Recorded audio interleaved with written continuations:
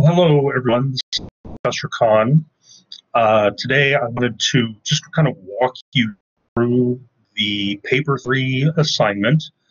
Uh, it's been told to you, but I want to post it uh, along with this uh, presentation.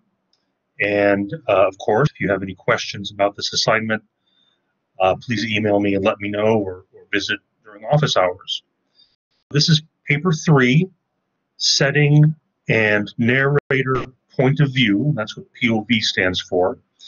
Um, in the in time, uh, what I've done is I have combined paper three, which was originally just going to be about setting, and which was going to be about narrator point of view, and I've collapsed those two uh, things together into this paper. Uh, in the doing, I've also taken out a few other requirements that I had uh, for both papers. So hopefully this will be a good compromise. Um, the first thing I'll say is paper three is in many ways going to be very similar to paper two. Paper three, just like paper two, is going to pursue the formalist mission or the formalist project of ignoring and analyzing certain elements and connecting those elements to story's central idea. So just like in paper two, here in paper three, you will be engaging in some cause and effect argument in which you link uh, certain aspect of elements of fiction to your chosen story's central idea. Um, that's the primary similarity between papers two and three. Paper different in other ways. Um, paper three will introduce you to an approach for literary analysis called reader response and be using what we call reader response style in your engine and your conclusion.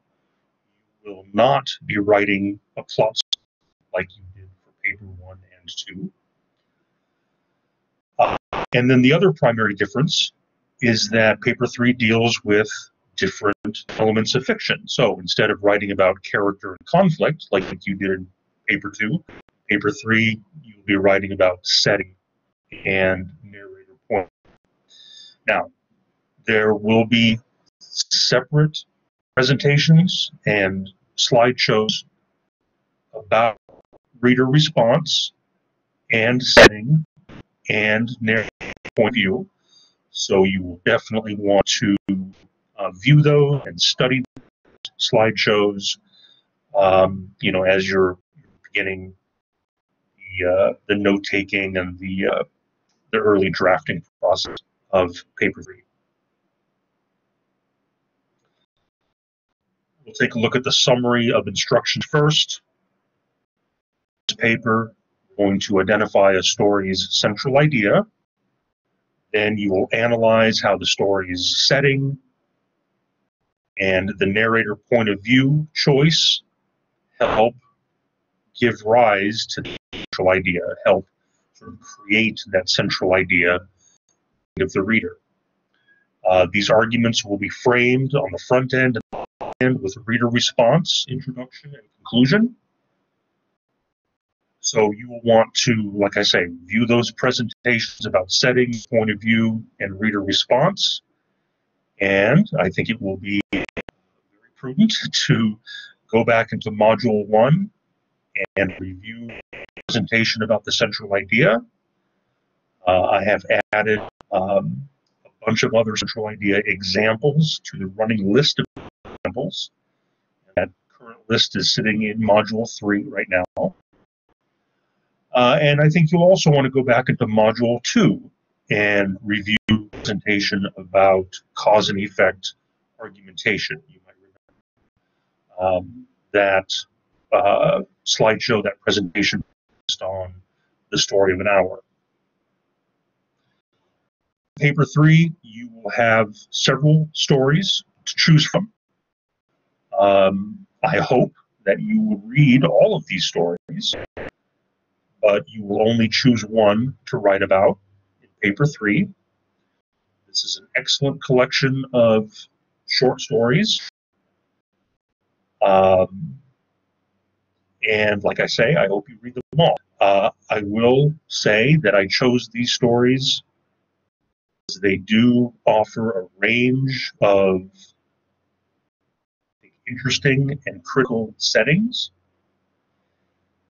They also represent the spectrum of narrative points of view that are available to us, at least for the most part.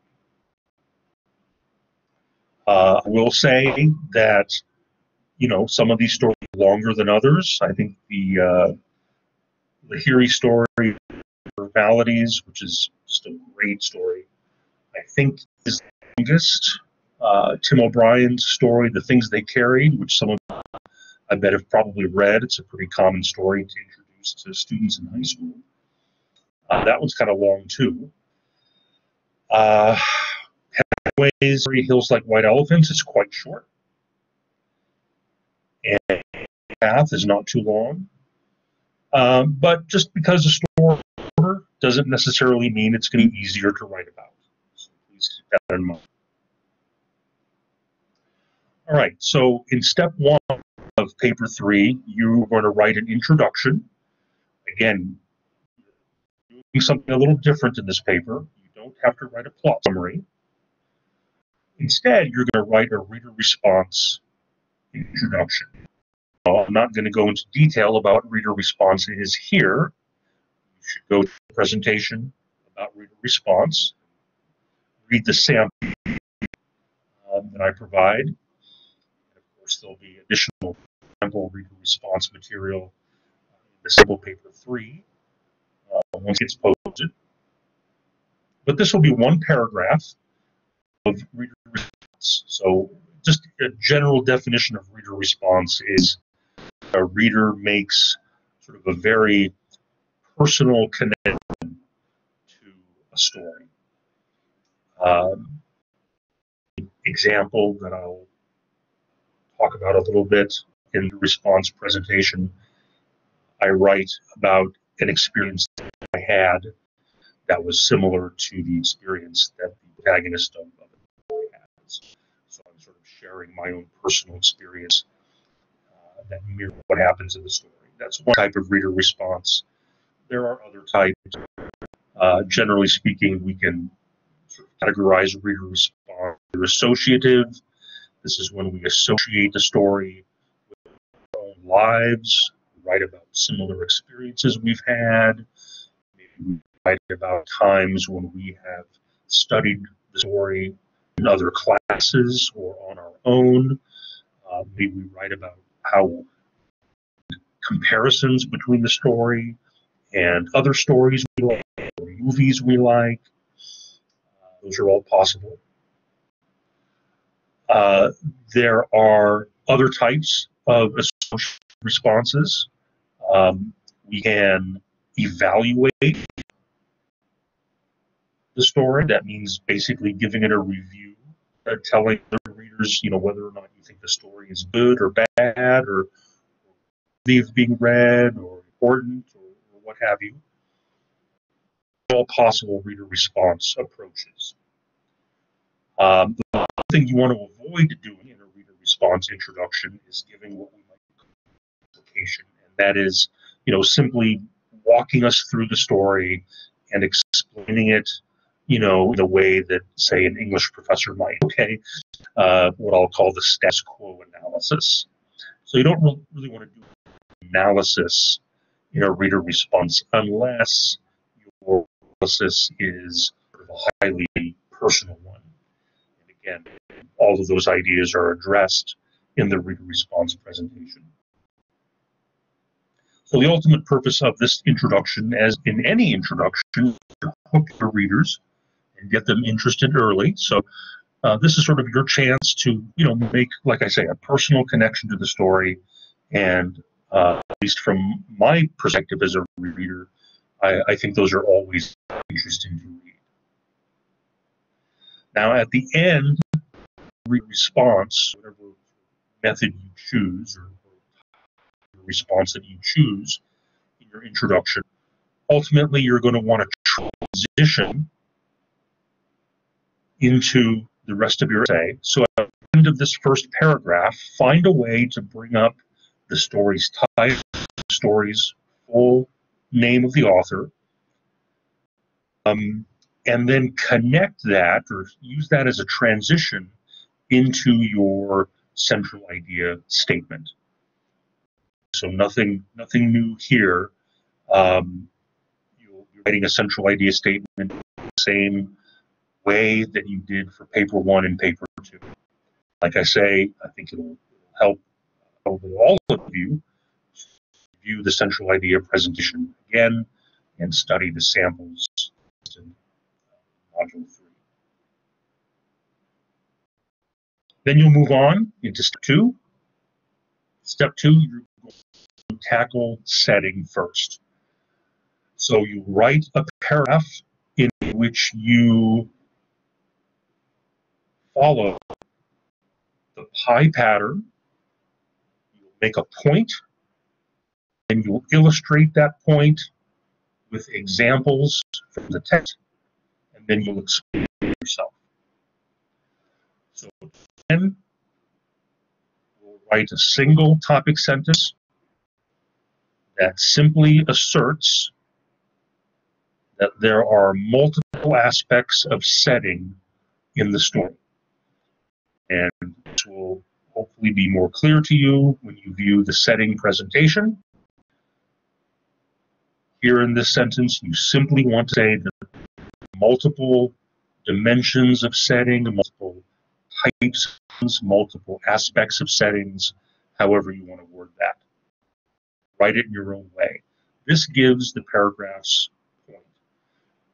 Now, there are ultimately four aspects of setting. So that's why I say this paragraph could be one paragraph long.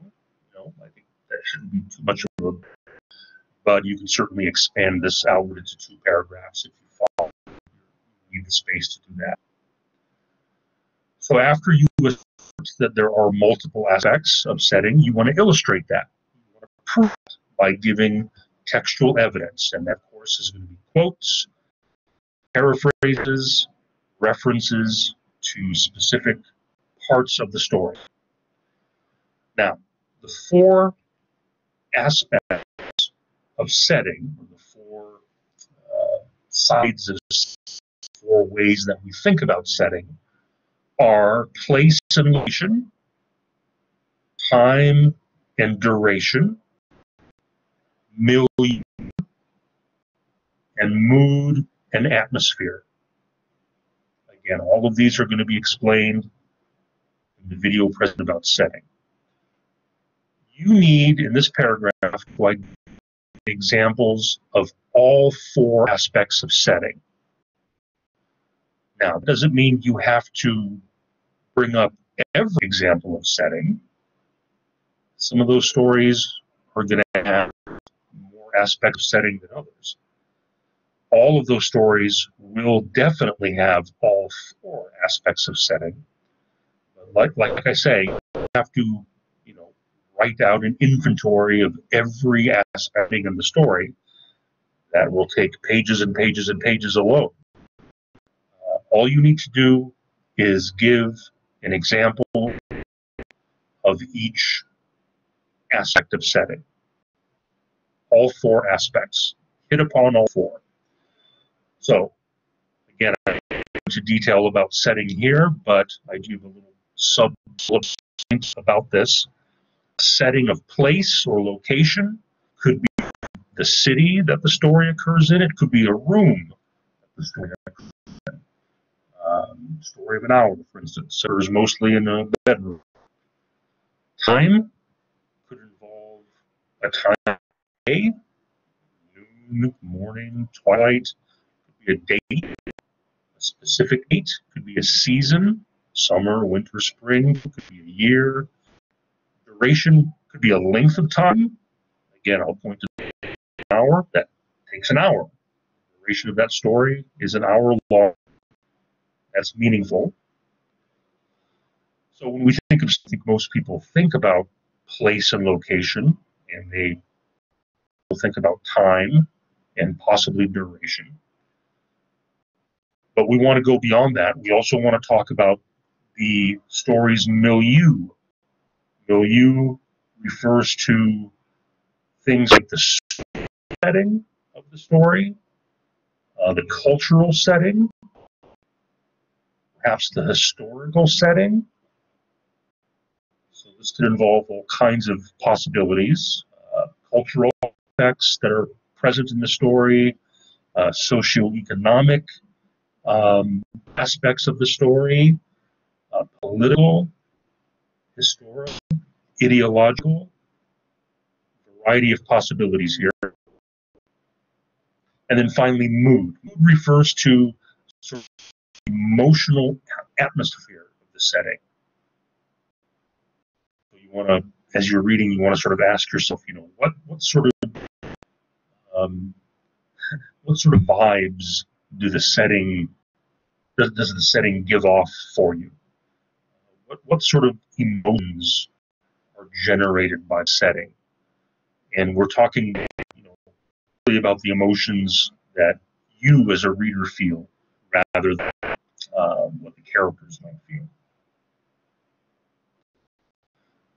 And then the last pie is the explaining. You can't just let the evidence speak for itself. You have to explain. Well, I'm going to bring up this example of milieu. Here's the quote, and here's why this of milieu. Because this quote indicates economic status of the main character, for instance. This paraphrase that I just gave you um, sort of summarizes the location where the story is taking place, etc. Explain yourself. You have four aspects of setting, so you're going to be kind of balancing between giving the evidence as well as the explanation. And you know, depending on how you write these up, these things could occur in the same sentence. During these explanations, you are free to consider other aspects of setting. Uh, for instance, how is you know meaningful in the story? How does setting help understand characters? I mentioned during the character presentation that setting go a long way toward characterizing. It can go a long way toward explaining um, the nature of characters to us. How, how do things or the aspects of settings help us understand, you know, the central conflict of the story or various themes of the story? So these are all kind of optional things that you can do to do this here in step two. But very quickly, you're going to want to move on to step three. And step three is where you will begin to connect the setting to your story's central. And of course, remember, um, you've got to get that central idea correct. If your central idea is off base, if it's incorrect, if is not taking the whole story into account, uh, it's wrong in some other way, then that's going to sort of infect um, your step three. So you want to make sure that that central idea is pretty solid. So feel free to you know, email me your central idea for the story. I can give it the okay and, and let me know whether it will work or not. Also, feel free to work with tutors. This step three, as with all of these body parts, are going to follow the pie pattern. with our point, our main point, in the form of a topic sentence, in which you state that the settings or the aspects of setting, however you want to word it, help cause the central idea to emerge. And you know find your way of, of saying that if you wish. Uh, you can use this italicized phrase as well. That's fine. The settings help central idea to emerge. This is this paragraph's main point. And again, one or two paragraphs here in step three. Now you want to illustrate by giving textual evidence. Now, in step two, you provided a number of bits of evidence already, so you refer to these ideas. You don't need to requote them or re-explain to us, but you're certainly welcome to bring up new evidence as well. Finally, you want to explain. And this, you know, explanation part in step three, and we'll do this again in step five, this is probably one of the trickier parts of this paper, like it was in paper two. Here's where you need to explain how information about setting that you wrote about in the previous step, how this information helps contribute to the story idea. to be your cause and effect argumentation skills here. How do the setting aspect lead us to or help to create the central idea story? Again, go back to module two, definitely view that cause and effect slide showing presentation. That your evidence that you uh, chose this paragraph supports the causal logic, the connections specifically, don't imply but state them explicitly and explain yourself. Going to mean using cause and effect words as well as evoking and making direct references to the central of the story, and in fact, using the term central idea. If you're not doing that in this step, you're not doing this step correctly. All right, once we're done with three, we move on to step four. We'll sort of leave setting behind, at least for now. And now we're going to identify the narrator and point of view of the story, one to two paragraphs. pie pattern once again. Begin with a topic sentence that identifies the story's narrator and point of view. Like in paper two, where you identified who the main character was, the protagonist. You identified what the conflict was, and you used terms to do that. This is what you're doing here as well.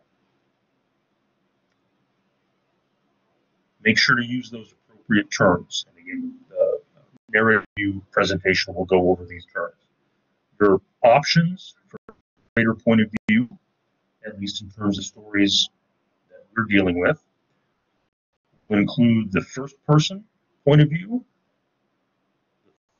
the dramatic point of view, the third person limited omniscient point of view, and finally, the third person full omniscient point of view.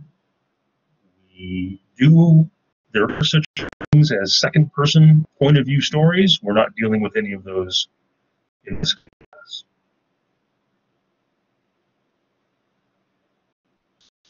You will identify the point of view, the narrator point of view, story you've chosen to focus on for paper three, but you can't just state that and walk away. You've got to illustrate, giving textual evidence that provides examples of the type of narrator point of view. That shouldn't be too hard to come up with. You want to make sure that you are doing this carefully, however. For instance, story you've chosen is a third person full omniscient.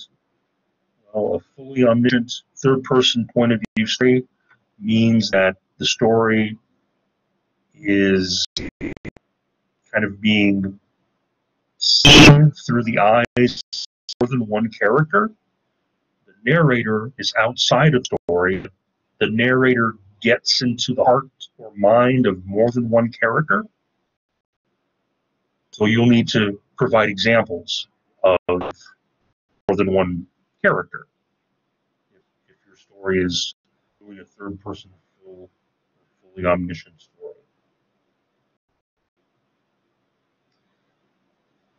After you give that evidence, first explain yourself. Don't let the evidence speak for itself. Just like before, the illustrations and the explanations might occur in the same sentence, certainly close together, but you might bounce back and forth between explanation and then some more evidence and then some more explanation. That's perfectly fine, as it's all there. In this explanation, in this analysis of narrator point of view, you want to go a little deeper and cover some other information about the narrator point of view. If your story is being told from a person point of view, that means that the narrator is a character story. You want to write a little bit about whether or not that narrator is unreliable or reliable and why. If the story you've chosen is being narrated by a third person narrator, whether it's a dramatic third or a limited omniscient third or a fully omniscient third, see if you can say a little bit about how subjective or objective the narrator is in telling the story. How involved is the narrator? How interested, disinterested is the narrator in terms of what the character is doing and the events of the story? Concepts, all of these ideas are going to be explained in the narrator point of view slideshow. Uh, is the narrator relating what happened in the past or relating them as they occur in the story? Does the narratorial stance change over the course of the story for any reason? What are some interesting aspects to the narrator point of view that you find interesting or relevant? Tone, think of tone as the tone of voice of the narrator. You can I'm sure easily imagine an angry tone of voice or a disinterested tone of voice or a uh, humorous tone of voice, ironic tone of voice, etc. Narrators take on these different tones. So you might think a little bit about the tones that you see present in the story as you're explaining why you believe the story is told from that particular view. All right, then in five, you will connect that narrative point of view to the central idea. Take one paragraph to do this, shouldn't take you more than one. Follow the pie pattern once again, for single topic sentence that communicates the following idea. The narrator point of view helps cause the central idea to emerge. Remember what formalism is. The writer has made certain choices. The writer chose a story in a certain point of view. And that choice trickles down and helps to contribute to the central idea we the readers come to understand after reading the story. You want to illustrate this with textual evidence. Again, uh, you can refer back to stuff you brought up in the previous step. But then you need to explain how narrator point of view contributes to the central idea using your cause and effect logic?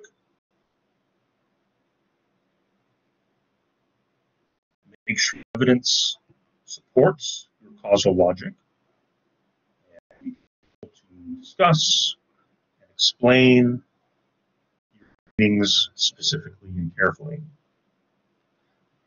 Just in uh, step three, you will need to make direct references the central idea You will need to use the term central idea. And of course, you'll need to use cause and effect keywords in order to really pin down the cause and effect logic. So one way, or, or one possible way to do this, it's not the only way, but I think a good way to do this, is to, at some point in your execution here, in your cause and effect, um, hypothesize about how the central idea might change or might be different The story had been written from a different narrator or point of view choice. So if you can imagine, say, the story of an hour, if it was told not from a third person, limited, omniscient point of view, which was written as, but instead written from a third person dramatic point of view. That means we would only see Louise Mallard's actions and what she says enter her mind at all. We wouldn't know what she was thinking directly, at least. That's a very different story we're talking about, I think. Imagine if that story had been told from the first person point of view. Louise is narrating her own story. Same things happen, but that editorial choice makes the product very different and definitely affect the central idea of the story. So just consider that. Push yourself outside of the story a little bit. Imagine what might have like had it been told from a different point of view, and that might help you make those between point of view and central idea a little more clear. You always want to consider the powers and the limitations of each type of point of view. Each type of point of view allows a certain level of access to the story. And some of those levels are more limited than others. Finally, step six, you will write a conclusion, one paragraph, in which you use, once again, reader response strategy. Might be helpful for you to use the framing technique. So you uh, end, say, using the same kind of strategy that you began with. So let's say you uh, wrote an introduction in which you a little story about yourself and how some experience of yours was very similar to something read in the story that you're, you're, working Well, maybe you finish that story in the conclusion, tell another similar story, or you can comment on that story. Uh, one pretty way to conclude using reader response uh, is to offer an evaluation or a review of the story. So I mentioned that earlier back in step one, you know, giving an evaluation. Right? It's certainly something you could do in the first paragraph, but it almost seems more logical to do something like that at the end of the story, or I'm sorry, the end of your essay. Uh, you know, you can offer a recommendation whether or not the story is reading, why it's important, why it's important to read, uh, and you know, be honest. I mean, if you didn't like the story, if you think it doesn't have much to offer in the in the in the final analysis, be honest. Say that, but of course, you always have to explain why. Why you think that. You never want to summarize your own essay in your conclusion. You never, ever want to use the term in conclusion at the beginning of your concluding paragraph. You know, we were all taught to do it back in earlier schooling, to move on. So we're not going to do that anymore. You do want to compose a works cited page that will only have the one entry, of course, the story that you're working on. Hopefully by now you will uh, have a better grip on how to compose this citation since you will have got or will be getting comments about your citation in page two. I will grade this. In-text citation is going to be a little clearer. most of you are using the digital textbook, and that textbook really does not have page numbers, at least not page numbers that you can easily discern. So I'm not going to require that you, you know, try to put in papers um, unless you're using a print you're using a, print book that has page numbers, then uh, you want you to, to include the page numbers in parenthetical citations at the end. So you want to cite, um, you know, anytime that you quote, anytime that you paraphrase a specific part of a story, anytime that you refer to a very specific part of the story. Uh, but since you're only using one source, and that's the story, uh, what you're referring to, so you, don't have to keep repeating the author's name or anything like that. That'll be that'll be pretty understood after your introduction. Just make sure that you go back into module three and take a look at your citation material.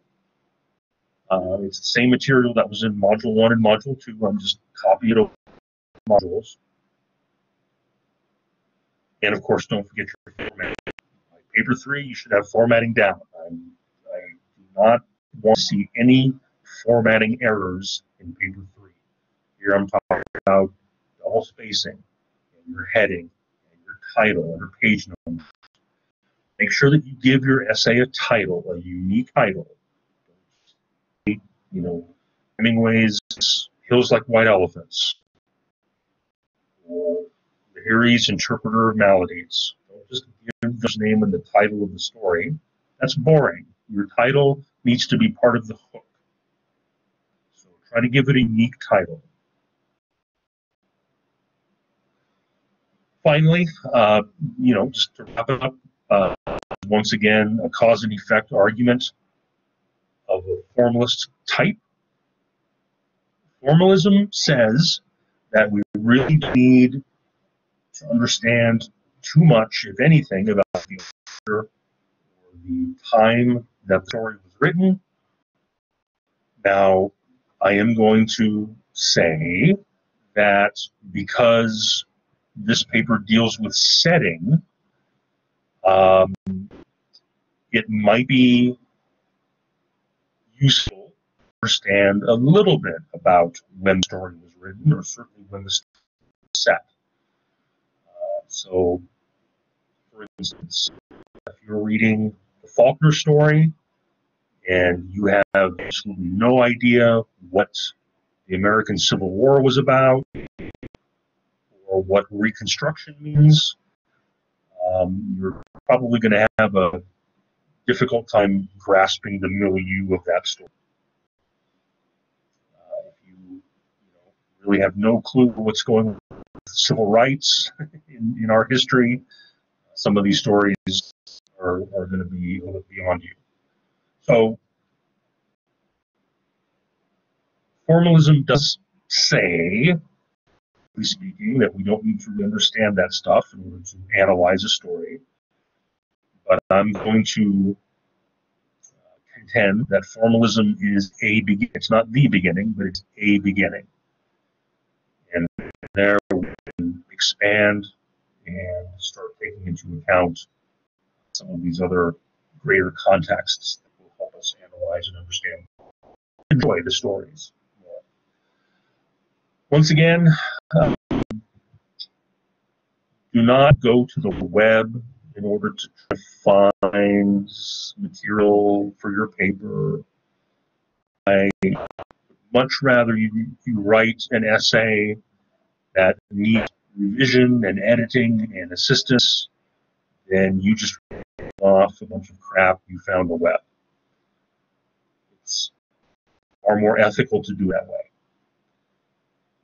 already you know, had to reprimand a few students for doing some plagiarism in our earlier papers, and I don't want to have to do that again. So if you need help understanding a story, deciphering the settings, figuring out the trying to figure out how these things relate to central idea, you know, there's a reason why I teach this class. I love this stuff, so I'm happy to help you, but you ask me tutors, writing tutors, I think by and large are going to be familiar with these stories. So you can always ask them about. And if you want to work with a tutor. I know some of you have been doing that. Make sure to fill out the online form, and the link is here at the bottom of, of the page. All right, so that's it. Thanks for your attention. If you have any questions about paper three, please let me know.